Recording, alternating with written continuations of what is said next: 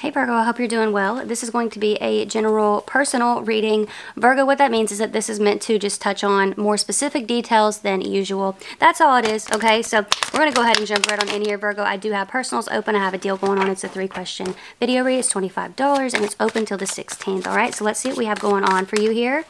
Virgo, what do we have for you? Looks good so far. Okay. All right.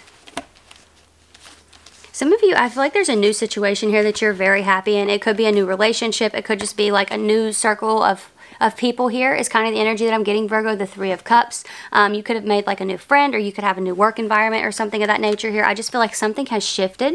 Uh, Eight of Wands, it can represent a shift. It can also represent messages. Three of Good Cheer can represent reunion.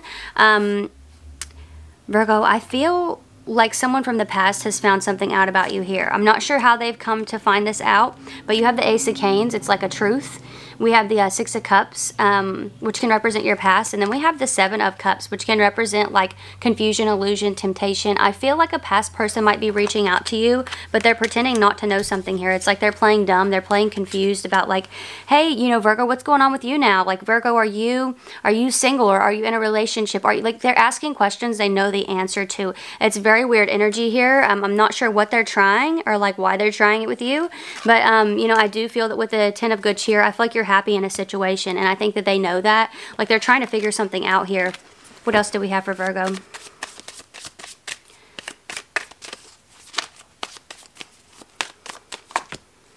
Yeah, I feel like this person doesn't want it, like they don't want you to know that they've been watching you. They don't want to make it obvious. Um, I do feel like they're seeing some sort of gap, if that makes sense, Virgo. It's like if you, say if you had a partner and you were posting your partner a lot, like like consistently, and now you haven't for a while, um, maybe you still have a partner, but you just haven't like posted them or anything. This person could be thinking there's some sort of open space. That's just an example, of course, okay? Um, some of you, uh, there could be something you're putting out there, some sort of energy you're putting out that you're not satisfied in a situation or you're not happy.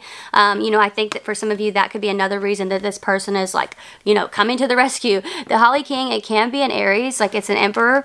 Um, that's the Emperor card. But there is someone here who is like trying to slip in in, a, in like a moment of vulnerability. Like I feel like you could be in a vulnerable space. Like this person has just had a feast. Like there's something that has ended.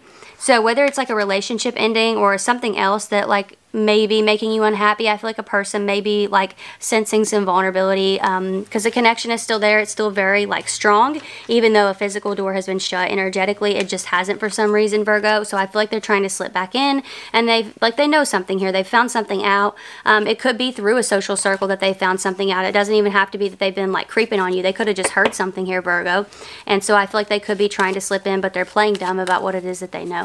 So that's what I'm seeing here, Virgo. I hope that this was helpful or fun. Details are below for anybody who's interested in personals. Like I said, they're open till the 16th. Uh, if this is where we part, thank you so much for being here. I really appreciate you, and hopefully I will see you next time. Bye.